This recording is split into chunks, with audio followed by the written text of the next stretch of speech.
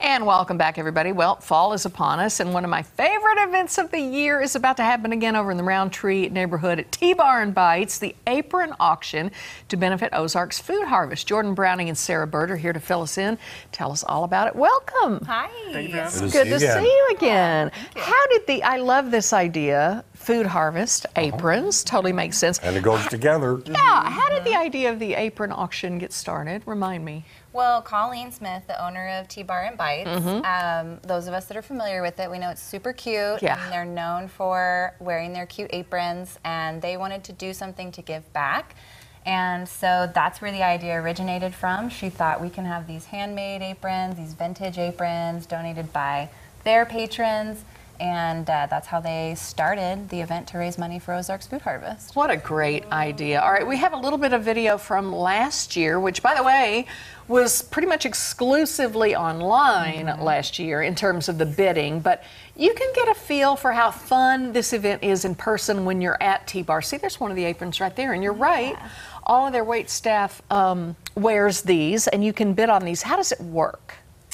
Well, this year we have an online portion and an in person. So uh, you can purchase aprons online or you can come to the in person event on September 30th and buy the aprons there. And we're also going to have a live auction for five special aprons. And one of the five aprons will come with $500 in gift cards for local food. But nobody's going to know which apron. Oh, That makes it better. So bid oh. high, bid off. Yeah. Mm-hmm. Now you're wearing a shirt, but Yes. remind you that kind of depicts this. But remind mm-hmm. people how wide of an area this covers. Yeah, so this shirt features our 28 counties that we serve. So we've got 270 hunger relief agencies that we partner with across these counties. Uh, and then this shirt just showcases our whole service area in southwest Missouri. And a lot of people. It's a lot of people. And just before we came on, Jordan, you and Tom were doing the math on and pounds and tons majors here, so yeah, it could be they're, they're struggling. But anyway, But talk you- about yeah, that Talk though. about the numbers you were talking about. Yeah, is um, Joey just had a. We were out there earlier this week sorting food, and we sort 90,000 pounds of food per week going through Ozarks Food Harvest, which, with our maybe math, Maybe math. Maybe if math. You figure, uh, yeah, a ton is 2,000 pound, uh, 2,000 pounds.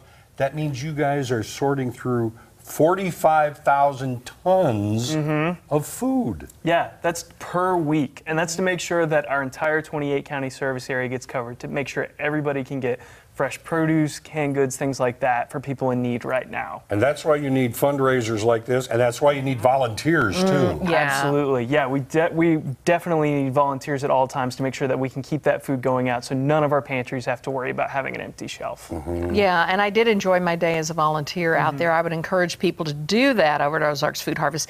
And September is Hunger Action Month. So you've got the apron auction happening, but all sorts of other stuff too. Mm-hmm. Oh, yes. Yeah, we have our Empty Bowls event. Uh, that features handcrafted bowls made by local artists. That's on September 24th.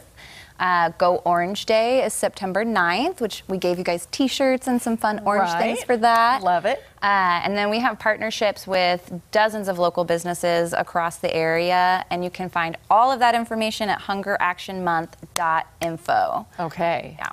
Good stuff. And you can also dot Info. Yeah. All right. And you can sign up if you want to volunteer. You guys make Mm-hmm. it very easy if you want to go volunteer for the Food Harvester One Info. So remind people what your website is if they want to do any of these things. Yeah, for anyone who's interested in more information or volunteering, is at ozarksfoodharvest.org. And we try and make it as easy as possible. You can see our whole volunteer schedule, sign up whenever is convenient for you. Yeah. It's a lot of fun. And by the way, the fashion show once again is coming up on September 30th at Tea Bar and Bites. I get to MC it this year, so I'm Yes. going to be there. Yeah. And uh, I saw you put out a Facebook invitation too, and I sent it to a couple of friends, and they said they're coming. So get your tickets early because Tea Bites is a wonderful place, but it's not the biggest place ever. Right. So if you want to actually be in the party, you better get on right. it. Mm-hmm. So you, you get to do some good for people, but you're also going to be getting really an individualized piece of art Yes. with yes. the aprons, with the bowls, Yes. everything. And we mm-hmm. also have some